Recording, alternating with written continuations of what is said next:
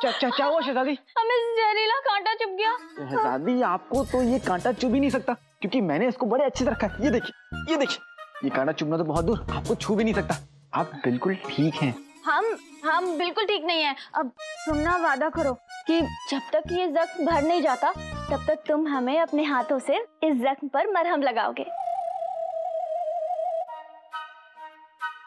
वादा करो ना आओगे ना? हाँ शहजादी, मैं वादा करता हूँ कि मैं रोज आऊँगा और रोज मरहम लगाऊँगा। ठीक है? अभी आप महल जाइए, बहुत रात हो गई है। आपको आराम करना है ना? मैं तो इस छोटे रास्ते से काली पहाड़ी पहुँचने वाला हूँ। बस भाई भी वहाँ मिल जाए, उसे कितनी सारी बातें बतानी है। और भाई के साथ प्यारी परेशानी जी भी होंगी। वाह, उनसे मिले भी ना जाने कितना वक्त हो गया। वल्ला वल्ला भी छा गई गरीबी।